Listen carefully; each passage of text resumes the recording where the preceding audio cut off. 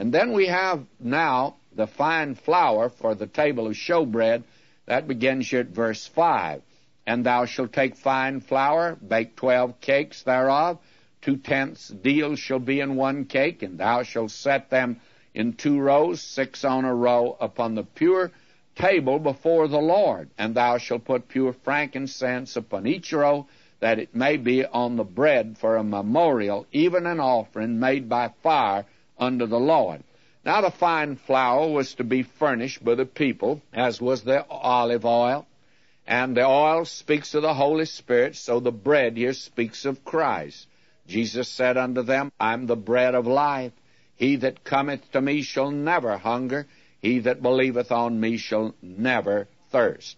And the fine flour means wheat, and frankincense, as a gift from the people, must necessarily be the natural gum because it had to be compounded into the incense, which was a secret formula, by the way. And this was put on there. It speaks of Christ as the bread of life, but it speaks of the wonderful fragrance of his humanity. And we are told in verses 8 and 9, every Sabbath he shall set it in order before the Lord continually, being taken from the children of Israel by an everlasting covenant. It shall be Aaron's and his sons. They shall eat it in the holy place.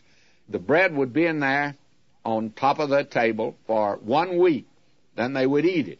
The bread was to be changed, you see, each Sabbath. And the old bread was to be eaten by Aaron and his sons, and always in the holy place.